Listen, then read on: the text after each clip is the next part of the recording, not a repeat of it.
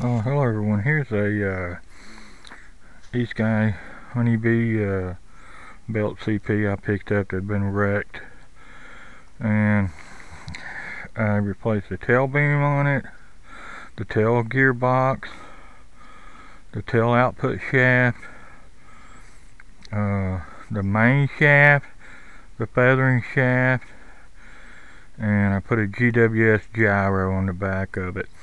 Uh, the one that came with it didn't hold too good, the stock Esky gyro. And these were new blades, brand new in the package. And piece of the covering came off.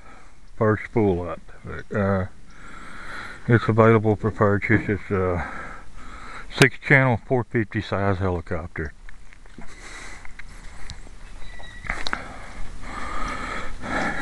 If you can see, snowed here yesterday and it's almost gone today.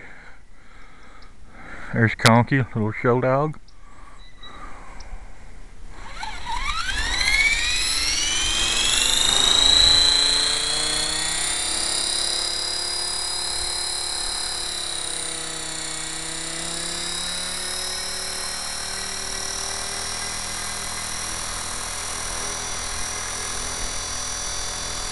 A little wind.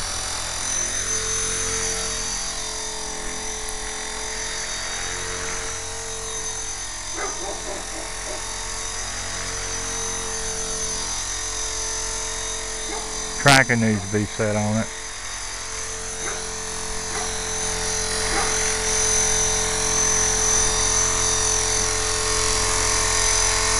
No, no, Conky, don't come over here, baby. No! Don't come over here.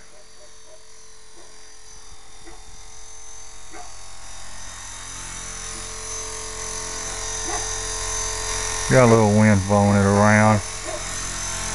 Don't come over here, baby.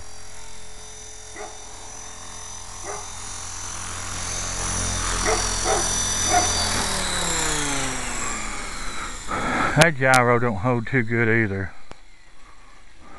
Uh, but anyway, I'm gonna sell it. It needs boom support for it. Needs a new set of blades. Like I said, these were new. Uh, needs a new set of boom supports, like I said. Uh, and you know, it could use a better gyro. But I have the box, the manual for it. Uh, I have the box, the manual, uh, blade holder, blade pitch gauge, charger, everything that you would get if you got it new. It needs a couple things, new blades, blades tracking set, better gyro, and boom support. I have one, the other one was broke. Like I said, it's got new boom, new tail belt, new tail gear housing, new tail gear uh, blade output shaft, new main shaft, new feathering spindle. Let's see, the, the blades are new, but like I said, they slung a piece off the end there. You can see it, but it's available for purchase. I want to thank everyone for watching. God bless. Uh, God bless this world we live in. And uh, I had a good time yesterday with the snow.